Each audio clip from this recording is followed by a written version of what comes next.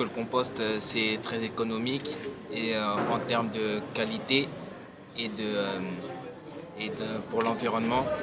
On recycle. On a mis en œuvre donc ce compost depuis le début de l'année en essayant de faire une rotation entre les différentes classes pour essayer de gérer le volume au début, pour essayer de bien suivre la formation du compost pour éviter tous les écueils, que tout le monde ait les bons gestes.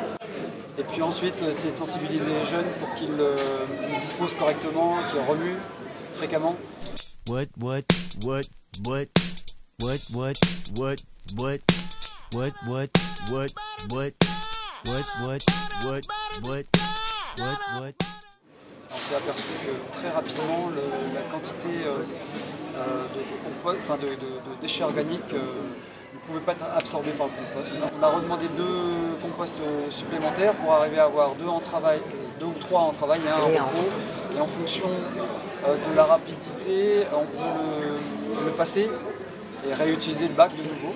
On arrive à mettre maintenant des vignes euh, suspendues, des vignes en sol, voudrait essayer d'en mettre euh, sur le toit végétal qui est à venir. Le compost, on s'en sert pour le mettre autour de tous les arbres du lycée.